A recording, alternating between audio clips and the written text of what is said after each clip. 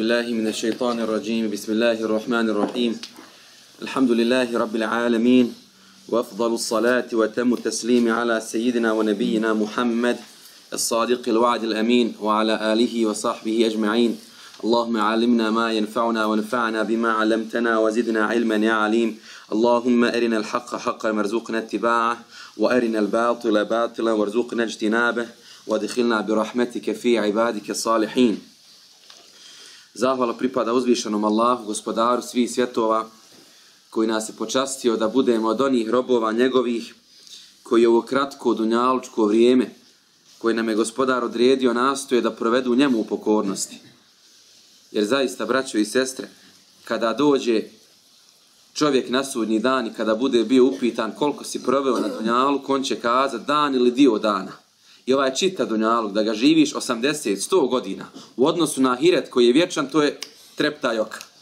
I zamislite koliko je nesretan čovjek, koji zbog treptaja, zbog sekunde vječnosti izgubi. A tebe i mene gospodar počastio da budemo od onih robova njegovih, koji taj kratki, kratki jedan samo treptaj, a ko da nastoje njemu pokornosti provesti, da bi bili od onih koji su vječno, ko da sretni u Allahove milosti. Salavat i selam poslanikovoj časnoj porodici, plemenitim ashabima, našim šehidima, onima koji istinu slijede do sudnjega dana. Draga braćo i poštovane sestre, mi nastavljamo druženje sa hadisima poslanika sallallahu alaihi wa sallam. Podsjećam i sebe i vas na onu jednu lijepu mudrost u kojoj kaže jedan velikan, zvao se Ibn Ata Ilah el-Iskenderi, Iza eradte en ta'rife inda Allahi meqamek, fanzur fima eqamek kad želiš da vidiš i da znaš kakav je tvoj položaj kod Allaha uzvišenog, pogledaj čime te gospodar svih svjetova zadužio. Nas je Allah počastio da budemo na mjestu gdje se namaz u džematu klanja, gdje se ako Buda samo dobro govori, gdje se niko od ljudi ne, ne spominje osim po dobro ako Buda. I gdje nastojimo da steknemo ako Buda oprost naših grijeha i Allahu dželešanu milost. Kako je to blagodat prema tebi, prema meni? Ako želiš da znaš svoj položaj kod gospodara, pogledaj čime te je gospodar uposlio. Ne šta pričaš. Ne šta govoriš. Ne šta, čime te uposlio. Gdje idu tvoje ruke. Gdje idu tvoje noge. Između ostalog šta govori tvoj jezik. Šta gledaju tvoje oči. S kakvim se ljudima družiš. I kakve s tvojim. Ne samo jedno, nego čita tvoj kompletno biće tvoje kad pogledaš čime Allah uposlio, tada ćeš znati na ko da na čemu si, na onome što je dobro ili na onome, na onome s čime možda gospodar nije zadovoljan. Hvala Allah pa nas je počastio da nas on nije uputio, mi zaista ne bismo upućeni bili. Evo prije nego što uđemo u hadis za večeras, braćo i sestre, razmišljam opet o tome kako uvijek je Allah odredio da bude skupina vjernika onih insana koji nastoje da traže znanje. A vjerujte, nikada za znanje nije kasno. I nikada čovjek ne smije da odustane od traženja znanja. Jedan strašan problem kojeg mi imamo, radimo obrazovanje, pa to vidim. To je borba. Gdje se znanje, obrazovanje formaliziralo. Naravno da je bitna diploma, naravno da je važno da imate certifikat, da imate papir. Ali najvažnije je da iza toga papira, te diplomi, za te ocjene, da stoji neki sadržaj. To je najvažnija stvar. A kako mi društvo danas živimo? Znate, imate anegdot, kaže, zovneš doktore, 50 se ljudi na stanici okreni kao, kao simbolika kako je relativizirano. Naravno, treba čovjek da studira, ali suštinsko pravo znanje nije samo ono znanje koje čovjek ima u diplomi, u papiru, nego ono koje ima u svojim dijelima. I zato sam htio samo na početku da podijelim jednu priču koju sam nedavno čuo od šejhana Bulsija kao jedan podstrijek svima onima, evo početak je nove akademske godine, školske godine, mektepske godine i čisto onako da to da to ispričam, da ako boda razmišljamo o tome, zaista se desilo. Jedan je insan iz Sudana svoga sina poslao na studije u Egipat, na Elazhar. I kaže, kada je završio studiranje, došao je njegov sin, vratio se u njihovo mjesto i održao je hudbu tamo na mjestu gdje, gdje odakle oni dolaze. Kada je održao hudbu, predavanje, sada ovaj čovjek, njegov babo, plače dole u džematu dok je bio. I svi su mislili da plače zato što mu je drago zbog uspjeha njegovog sina. A znate zašto je plakao? Plakao je zato što kaže, meni je 55 godina, a ja ne znam ni čitati, ni pisati, ništa od Kur'ana ne znam. Tek je tad spoznao koliko, u šta mu je život, kaže, prošao. Allah me stvorio da njega spozna. U šta mi je život prošao? I zaputi se oni Sudanu u Egipat. I dođe u Kairu. Nije ni znao koji je to fakultet. Ka Einel Ezar. To ima onako loše, negativno značenje. Ne zna ni kako se zove El Azhar. Na kraju počeo je da studira, da uči, naučio da čita, da piše, ušao u Kur'an, braću i sestre, preselio u 96. godini života kao šejhu Azhar, rektor Azhara. Subhanallah. Zekerija El Ensar, jedan veliki, veliki alim. Braćo i sestre, pojente u tome da ne možeš reći kasno, nema čovjek kada je jaka volja, kada je jaka ambicija, to više nema veze ni sa godinama, ni sa fakultetom, ni sa mjestom, ništa. Samo ima veze sa srcem tvojim. E zato, braćo i sestre, treba da čuvamo taj ambijent u kojem, hvala Allah, možemo da učimo, da stičemo znanje. I zaista je to nešto, jedna velika blagodat. Vjerujte, samo ljudi koji nešto, kad nešto izgube, tek onda postanu svjesni koliko je to golemo. I opet spominjem eto šeha zato što zaista smo se mnogo od njega koristili. Jedan bereket je donio ako boda ovde, kaže vi niste ni svjesni toga. Ali tek kad izgubite to, tek kad izgubite o tome razmišljate. Sigurnost u zemlji. Evo prolazim sada ovde, prolazite i vi. Hvala Allahu, djevojka sa Maramu može da hoda. Možemo ezan da proučimo tu. Imaš slobodu svoju. Naravno, da, da ima problema, ima problema. Ni, nismo meleki, nismo u džennetu. Ali imaš slobodu jednu. Stabilnost jednu, kakvu takvu. Nismo ni svjesni kakve blagodati imamo i zato, braćo i sestre, evo za početak, jačajmo svoju ambiciju da učimo, da širimo svoju spoznaju i budimo zahvalni na blagodatima koje imamo. Vjerujte, nikada nije problem u tome što insan nema, nego je uvijek problem u tome što ne vidi koliko me Allah dao. Nikad nije problem što nemaš, nego je problem u tome što ne vidiš koliko ti Allah dao. I tada počne, tada počne nesreća. I zato ulema kad govori šta je razlika između uživanja, slasti, strasti i prave istinske sreće. Šta je razlika između uživanja, ono uživanje, dakle provod, uživaju ljudi, kaže. I onoga ko istinsku sreću osjeti. Kažu za užitak, za strast, za slast, za provod. Uglavnom je potrebno tri stvari. Potrebno je zdravlje, da je insan zdrav, jer bolestan insan nije mu do provoda. Potrebno je slobodno vrijeme i potreban mu je metak. A kažu, i ono dolazi izvana, znate, izvana dolazi, ne dolazi iznutra. A kaže, Allahu je mudrost takva, da je gospodar odredio da uvijek čovjeku jedno od to troje fali kad si mlad, jel tako, imaš snagu, imaš vremena, ne znaš šta što od sebe, ali nemaš para možda. Pa čovjek malo ostari, uđe u srednje, da kažem, godine, ima čovjek snagu, ima zdravlje, ima i metka, ali nema vremena. A nakon toga Allah mu dadne starost, pa ga zdravlje počne slabije služiti, a ima vremena, ima i metka. I nikada ne može da istinski uživa. A kaže šta je istinska sreća? To je ono što dolazi iznutra. I to je jedino vezano za čovjeku u sa Allahom Đelešanom. Nikakav drugi razlog, ništa drugo nema sa ti. Jedino veza sa Allahom donosi istinsku sreću iznutra. A ovo strasti, provodi, uživanje, nešto što je izvan. I zato ko odluči da traži istinsku sreću, njemu više ništa neće biti bitno šta se oko njega nalazi. Zato što se on konektovao sa Allahom Đelešanu. E ja molim gospodara da nas ako voda pomogne na tom putu, da ovdje ako voda jačamo tu našu vezu sa uzvišenim gospodarom Allahom Đelešanu. Amin. Da proučimo dovu i fatihu imamu Buhari, ću hadijsku zbirku čitam. Ridan lillahi ta'ala al-fatihu.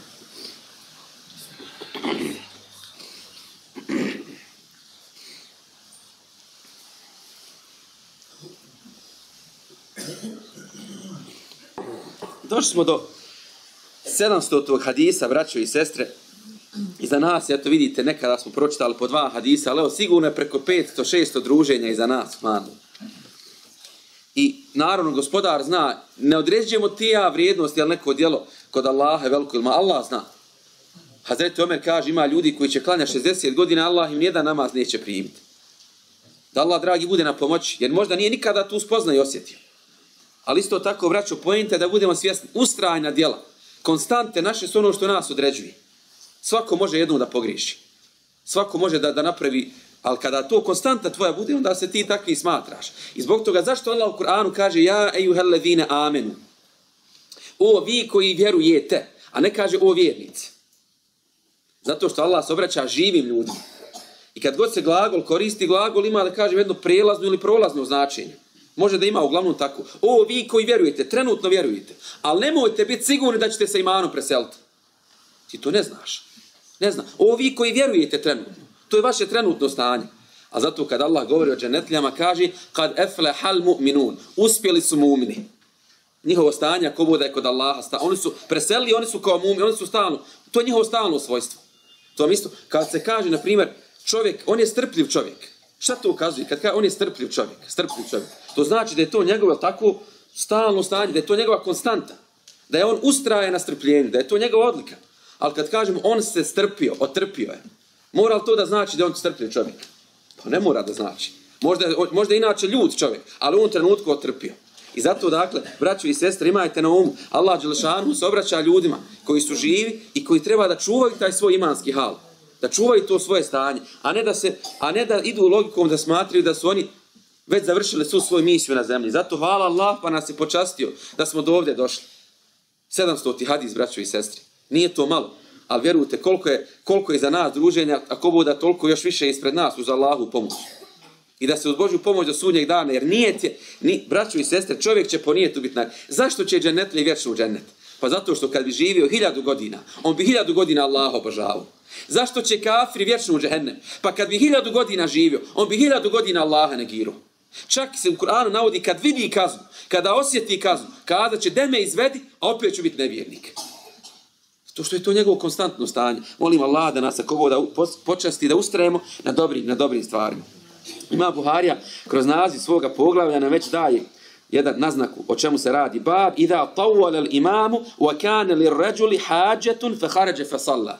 Kaže poglavlje kada imam produži svoje učenje oduži sa učenjem, oduži sa učenjem, a čovjek iza njega, džematlja, ima potrebu neku, pa izađe i klanja namaz. Pa se, dakle, imam Buharija kroz hadis nam već ukazuje, kroz naziv poglavlja nam ukazuje koja će to biti zapravo suštinska tema ovoga hadisa. Hadethena Muslim ibn Ibrahim. Pričao nam je Muslim ibn Ibrahim. Koji je ovo Muslim?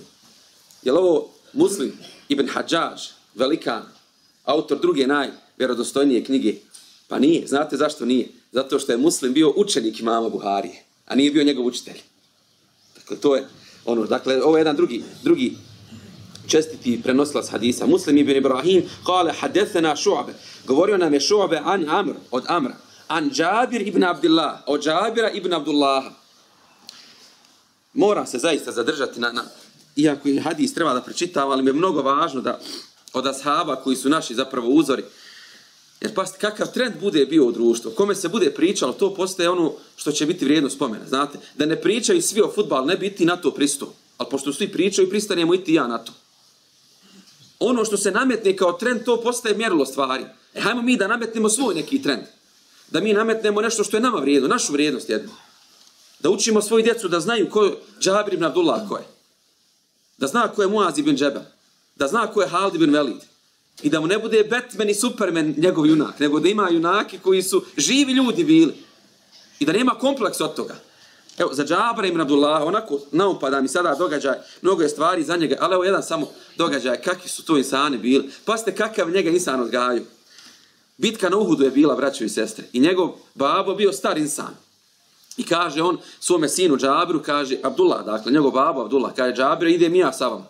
Kaže, nemoj babo, ima nas dovoljno, ti si, imaš opravdanje, ti si stari bolestan. Kaže, tako mi Allaha, žalit ću se na vas Allahom poslaniku. Svano.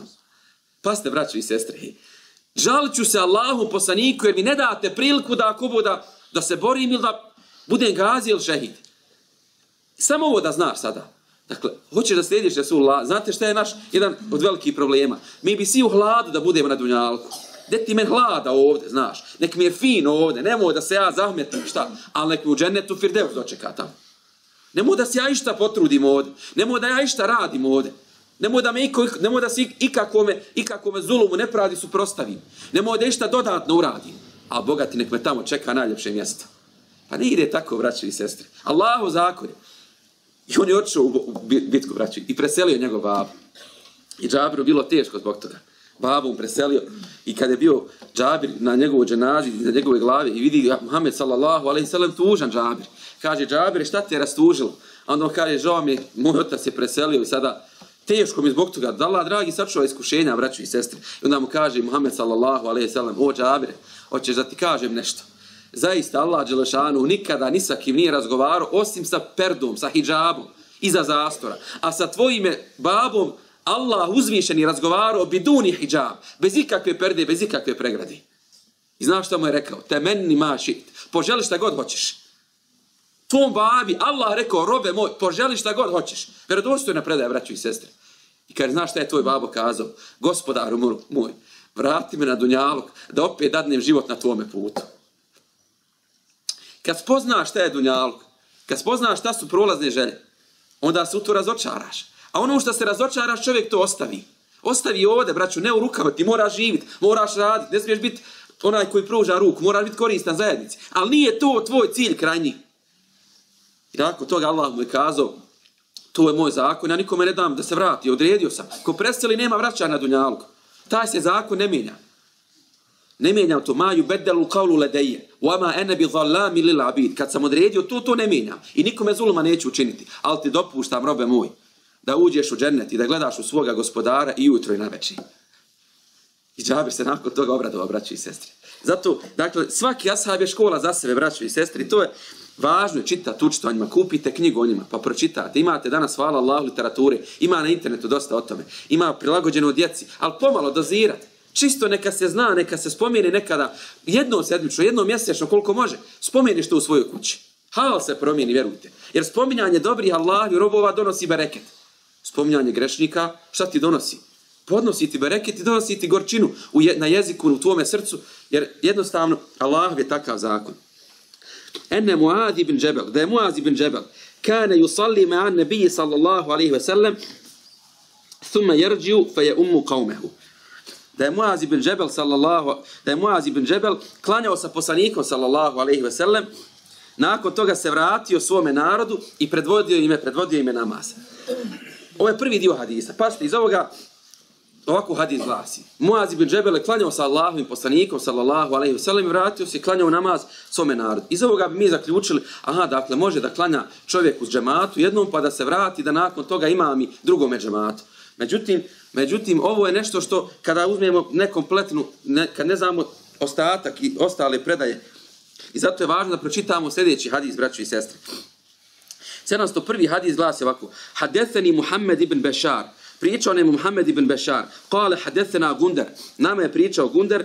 Kale hadethena Šobe an Amr. A nama je govorio Šobe od Amra. Kale sami'atu Džabir ibn Abdullah. Čuo sam Džabira, sina Abdullahu. Kale, koji je rekao. I sad ovaj hadis u širem jednom kontekstu. Kane Muad ibn Džebel yusalli ma'an nebiji sallallahu alaihi wa sallam. Dakle, ovo priča Džabir. Muaz je klanjao sa poslanikom sallallahu alaihi wa sallam. Thumme jerđi'u fe je ummu qavmehu. Pa se vratio svome narodu, da, u svoj džemat, hajde da tako kažem. Svoje, svoje pleme, u, u svoj mahal. I onda je k njima klanjao namaz jer je bio najučevniji među njima. Inače, kažu, Muaz ibn Džebele, jedan od četvorci ashaba, koji je još za života Božijeg poslanika, postao hafiz Kur'ana. Naravno, prvi hafiz Kur'ana je Muhammed sallallahu alaihi sallam. Ali jedan od četvorci koji je postao hafiz još za, za života Allah, šta to znači? Zamislite šta to znači? To znači da on svaki ajat kad bi objavljen bio, odmah bi ga usvajao, pamtio i dalje bi prenosio. Preselio braću i sestre Muaz bin Džebel u 33. godini života. Pa o omladini govorim. U 33. godini života preselio. A pejgamber je za njega rekao najbolji koji poznaje halal i haram je Muaz bin Džebel. Nemaju veze i godine sa znanjem, sa mudrošću. Nego imaju sa ambicijom i sa srcem koje vjeruju Allaha Đelšanu. Klanio je sa poslanikom pa se vratio. Fa sallale ajšae pa je počeo klanjati aciju pra, počeo klanjati jaciju svome, svome džematu. Fa qara e bil bekarati. Pa je počeo učiti suru El Bekari. Krenuo Elif La Mim Zalik El Kitabu La Rebe Fih. Krenuo da uči Fatihu i krenuo redom.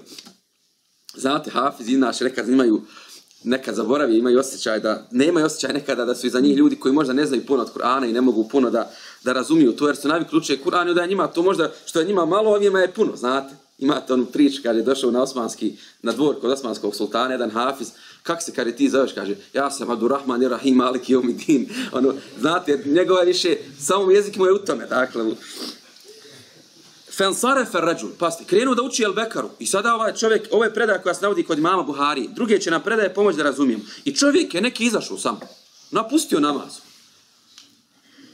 Druge nam predaje govore o tome, vjerodostojne predaje, da on nije tek tako samo predao selam, nego ima čak čovjek pravo, ako ima potrebu, ako mu se desi, da završi sam namaz, za imamo klanja. Odjednom promijeni nijet, kaže, gospodar, ja ne mogu više, bolestan sam, bolim, imam problem, potreba neka, sam završi taj namaz i izađi žemata. Ulema je to dopustila, braćo.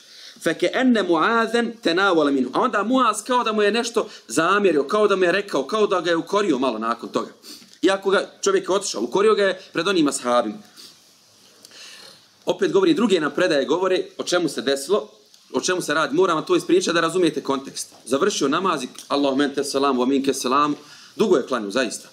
čak se spominje neko predaje da je čitao sura Al-Bekare proučio. Ideal Imran je krenuo bio, dakle, zamislite. Ona. I uglavnom, ali evo Al-Bekare, da je krenuo da uči Al-Bekare, nek bude par stranica, Allahu e'alamu koliko je bilo, ali puno opet, misli, za naš neki kontekst. I završio namaz, ja sahabi kažu, al, muaze, bio je s nama neki čovjek koji je, nije klanio do kraja, predao selam, izašao ranije. A onda Muaz bin Džebel, pa pasite vraćao. Čovjek, subhanallah, kakav insan, za kojeg je poslanik sallallahu alaihi sallam rekao da najbolje zna halal i haram. Čovjek za kojeg je pegamber rekao, uzeo ga za ruku i kazao, vallahi ja Muaz, inni la uhibbuke, tako mi Allaha Muaz, ja tebe volim. Zamsi da ti Allahu poslanik, Allahu najdraže stvorenje, kaže ja tebe volim. Pa znaš šta to znači? To odmah znači da te voli gospodar svih svjetova. Jer nemoguće da te pegamber prihvati da te Allah odbije. Jer on je naš put, vrata do Allahove milosti i njegovog zadovoljstva. I takav insan, braćo i sestre, takav insan kaže, ima, kaže ajet u Kur'anu, idha qamu ila salati qamu kusala. Kaže, on je licemir, kaže, subhanallah. Zato što, kaže, ima ljudi, Allah govori, koji kad ustaju namaz, mrsko im je, teško im klanjati, lijeni su po pitanju namaza. To je, kaže, munafik. I ovo je došlo do tog čovjeka, subhanallah. Pa ste, nemoj da mislite da, će re, da ćete reći nešto o nekom, a da to neće doći do tog insana. Pa danas pogotovo gdje se sve snima, gdje se sve slika, gdje se prenosi ovim komunikacijama. Nemoj da, i zato vam kažem, čuvajte, naravno, ima ono jedno pravilo, borba je to, braćo i sestre. Nema ga, ali to je borba. Onaj ko ti ružno govori o drugima pred tobom, govorit će i o tebi ružno pred drugima. To je tako, sigurno. I što onda ja mogu da kažem, idem se ja boriti, da ja govorim o ljudima dobro. Nije, da je lako, nije lako. A hoćeš kod Allah nagradu, Allah želi dobro da se širi. Ne želi da se širi osim onaj kome je zulum učinjen. La yuhibbu Allahu al-jahra bis-su'i min al-qawli illa man zulim. Allah ne voli da se priča loše osim onaj kome je zulum učinjen. Nemojte negativno ši, ako ti nije zulum učinjen, ako nisi mazlum. I to je došlo do tog čovjeka. I on se požalio poslaniku sallallahu alaihi sallam. I dalje ide, dakle, hadis kod Buhari, febeloga nebije, sallallahu alaihi sallam. Došlo je to od Rasulullah. Fekale. pa je onda on zovnu Muaz ibn Džebela. Paste. I ovo je ispravan rezum. Dakle, nije, nije bilo odma rekla, kaza. prvo ga pita, kaže, o Muaze, jesi li, kaže, ti predvodio ljudima namaz? Kaže, jesam. Jesi li, kaže, jel ti izašao čovjek? Kaže, jeste. Šta si, kaže, Muaz učio? Kaže, učio sam sura al-Bekare. I onda mu kaže Muhammed sallallahu alaihi sallam, učio si suru al-Bekare. I onda kaže, fetan, fetanun, fetanu, thalatha merrat, thalatha mirar, ev kale fatinen, fatinen, fatinen. U drugim predajem, e fetanun ente ja muaz. Zar ćeš muaze ti smutnju među džematljama da siješ? Suru al-Bekare da učiš, ba? A znate ko je bio taj čovjek? Beduin koji imao svoje deve, koji nije mogao dugo da ostane na čitav dan bio na poslu, napajao svoju stoku i došao u džamiju da namaz obavi.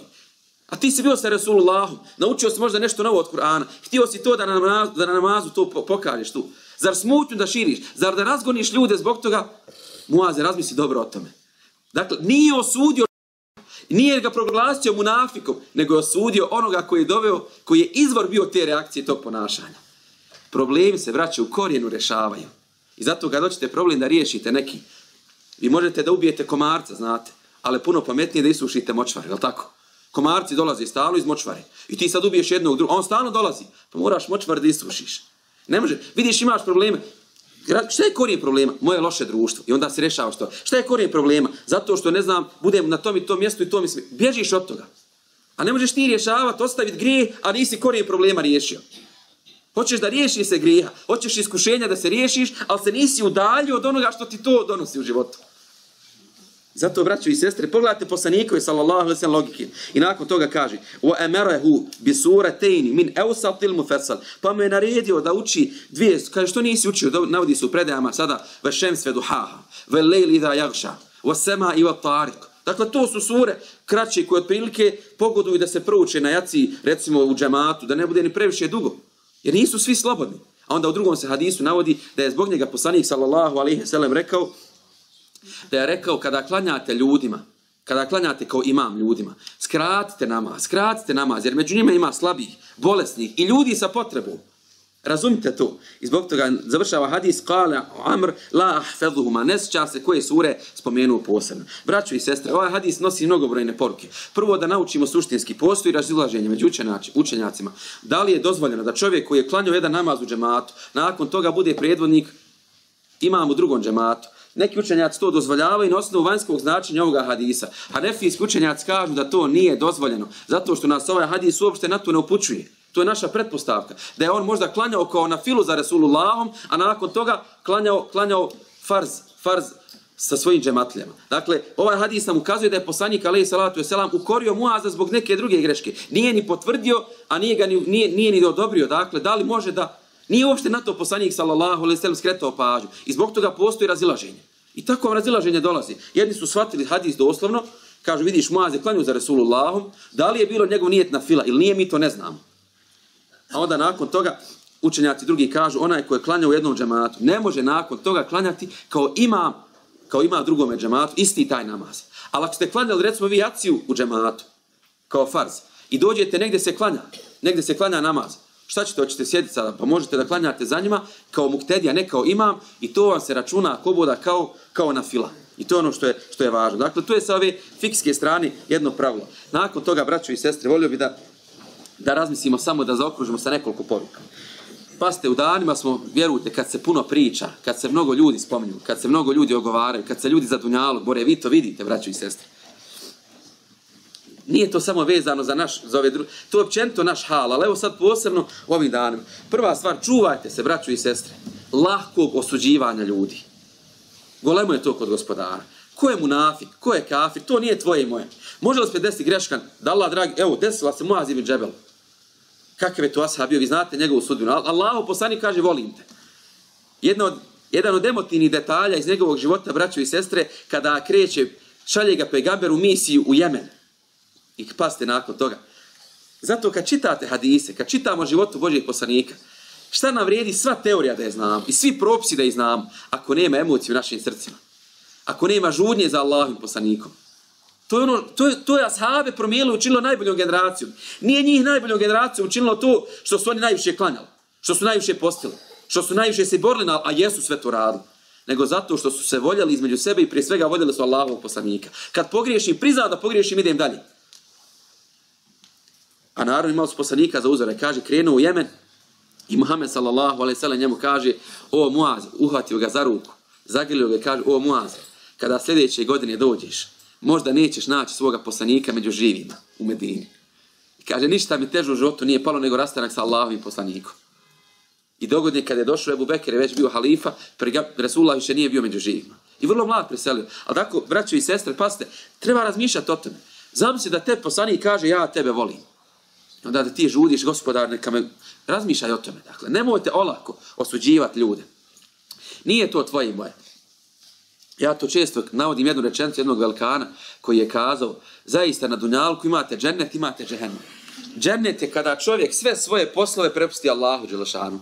Uradi sve što možeš da uradiš. Uradi sve što možeš da uradiš. A onda se nakon toga osloni na Allah ko da ništa nisi uradio. A šta je džehennem? Džehennem je kad ti Božije poslove na sebe uzimaš. I zato zapamte, braću i sestre, imaju stvari koje Allah hoće sa nama a ima i stvari koje Allah hoće od nas. Naš je problem što mi uvijek se zanimamo što Allah hoće sa nama. Jel nevjernik, jel munafik, jel džennetle, jel džehennemlija, jel iskren, nije li iskren. Ne mogu ja to znati. Pa ja sad dok vama pričam Allaha mi ne znam svoj nijet. A mi pričam drugima, vidi on je to zbog tog i tog uradio. A svoj nijet ne znam čovječe. Nemojte da lako ljude osuđujem, braću. Ima nešto što Allah hoće sa nama. Pripremio svakom od nas misiju. Ali ima nešto što Allah hoće od nas. I time se zamara šta hoće Allah od mene. A ono što hoće on sa mnom, to je njegovo, njegovo pravo i on uzvišeni gospodar. Druga stvar, braću, čuvajte se, rekla, rekla, kazala. U ovim danima posebno. Sebe sam, braćo, prepoznao da nasjedneš lako, misliš pouzdan, čovjek vidiš, posle nije istina. Ba. Provjeravajte dobro. Nemojte svemu da vjerujete.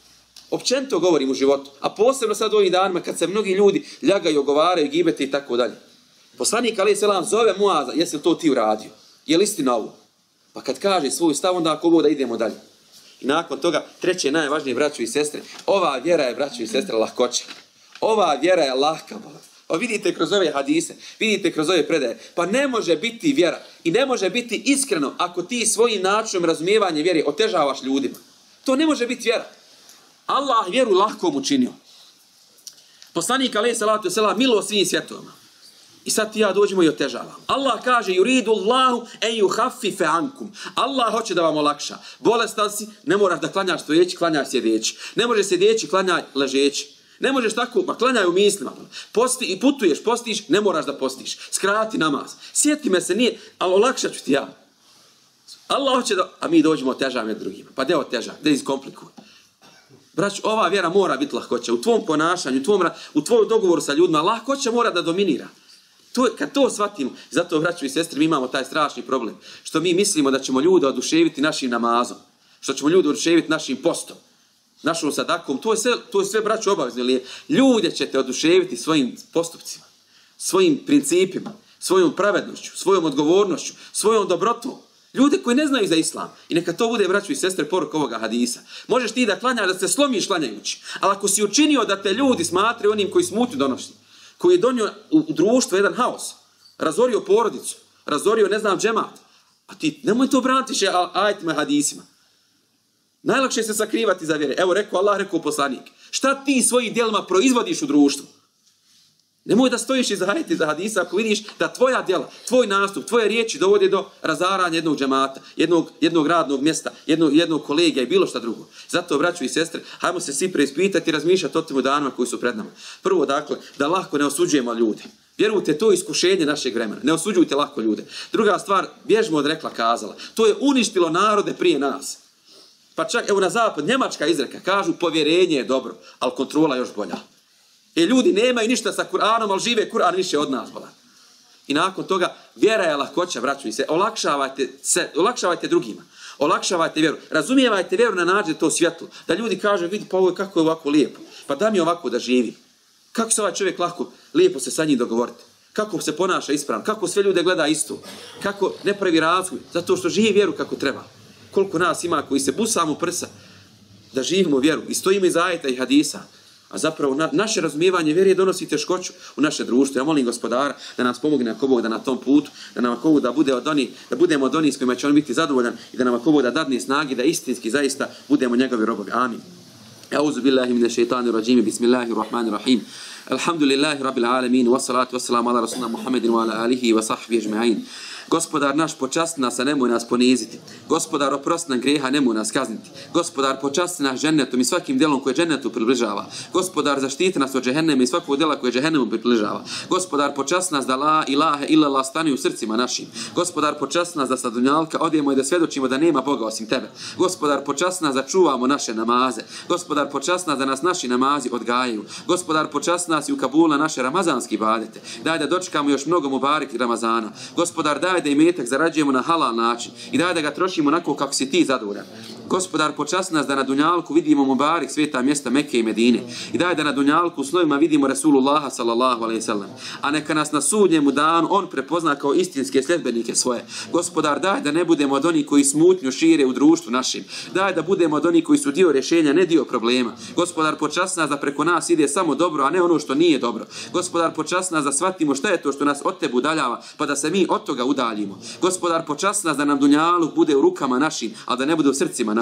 Gospodar, neka Kur'an bude proljeće srca naših. Neka bude ono što će tugu našu da odagna. Gospodar, počas nas da budemo od onih robova tvoji koji dobro u društvu čini. Gospodar, počas nas da volimo one koje ti voliš. Da radimo djela koja ti voliš. Gospodar, počas nas da nam ništa na dunjalku nema od ljubavi prema tebi i blizine sa tobom, gospodaru naš. Gospodar, počas nas ako voda da budemo od robova s kojima si ti zadovoljan. Gospodar naš, ako mi zaboravimo tebe, nemoj ti zaboraviti nas. Pomozi nam gospodaru danima iskušenja. Gospodar počasa za nas predvode najbolji među nama. Zaštiti nas gospodar od toga da nas predvode najgori među nama. Gospodar daj da budemo mi od onih koji pokreću pozitivne procese. Allahu počas nas da budemo od onih koji čine dobro u društvu i ti budi zadovoljan sa nama. Gospodar pokaži svoje ime silni i moćni nad onima koji žele nepravdu i zulum umetu Muhammed a.s. Ujedini umet Muhammed a.s. Ojačaj umet Muhammed a.s. Pomozi muslimane, iskrene vjernike na svakom mjestu. Gospodar podari nas snage u borbi protiv nevjernika. Podari nas snagu gospodar u borbi protiv naših strasti i počast nas gospodar da budemo od onih robova s kojima ćeš ti biti zadovoljan i na dunjalku i na sudnjemu danu. Allahu na danu kada ni metak ni sinovi neće koristiti, ti nam grehe naše oprosti u džennet na svoju vedi. Subhane rabbika rabbil izzati amma yasifun wa salamun al mursalin walhamdulillahi rabbil alamin al-fatih.